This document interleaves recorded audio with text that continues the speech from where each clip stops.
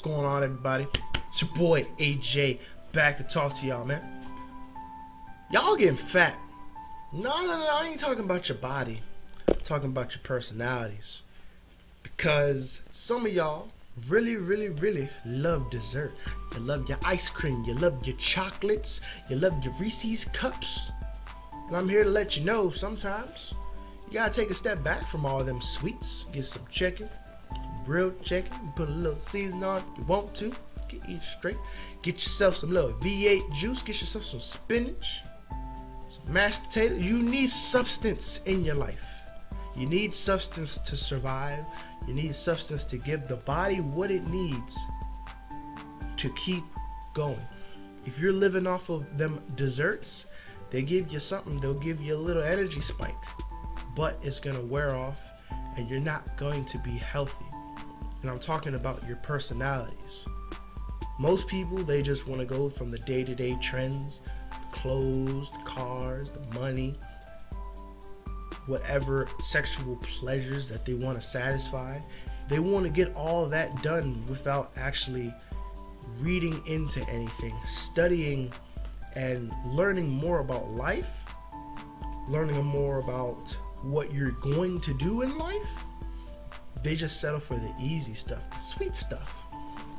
And it's all well and good when it starts off, but you're gonna it's gonna become an unhealthy lifestyle. You're gonna be constantly doing these things over and over again. Some people, they're gonna switch. They're gonna turn straight vegan on you, and they're gonna be eating healthy. They're going to be living a very beneficial life, not to themselves, but to others because they have more energy, they have more time, they have more to give to others. And you're still going to be stuck in that dessert crazed life, looking for them energy spikes, looking for looking to looking to satisfy your sweet tooth. Lay off the desserts. Eat healthy. Lay off of just feeding into the temptations of your body and trying to feel good, do something that's beneficial for you and others for some time in your life. Who knows? You may enjoy it. It does get a little tedious sometimes. Sometimes it does get a little bland. You could always try to spice it up with a little extra stuff if you want. But at the end of the day, you still need substance to survive you need proper nourishment to keep going.